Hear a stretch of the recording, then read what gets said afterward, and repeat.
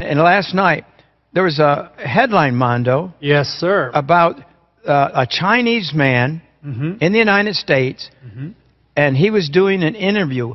Yes, absolutely. This is the billionaire whistleblower, is what they're calling him. He was having an interview with the former White House chief strategist, Steve Bannon, and the information that this whistleblower brought to the table shocked probably every media outlet right now is going viral. The information he said this, one, he believes, I quote, 1.5 million people are confirmed with the coronavirus in China.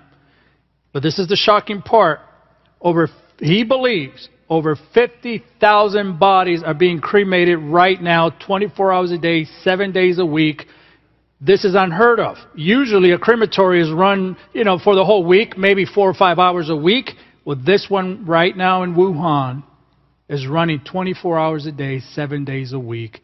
And he's saying this China, the media, the people are not telling us the truth of the real numbers mm. of what he predicts and he believes of the people that are dying, not the people that are being quarantined. The deaths that were not being reported, he believes is probably in the millions already. We're not being told. Mm-hmm.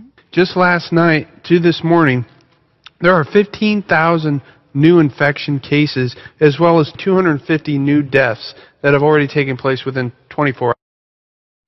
And now, here's what they're saying.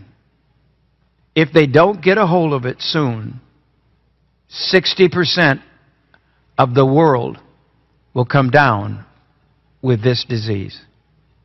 Is that right? Absolutely. According to Dr. Gabriel from, told The Guardian, it says this, and I quote, the coronavirus rate of infection suggests that 60% of the global population could get the virus if it is not brought under control.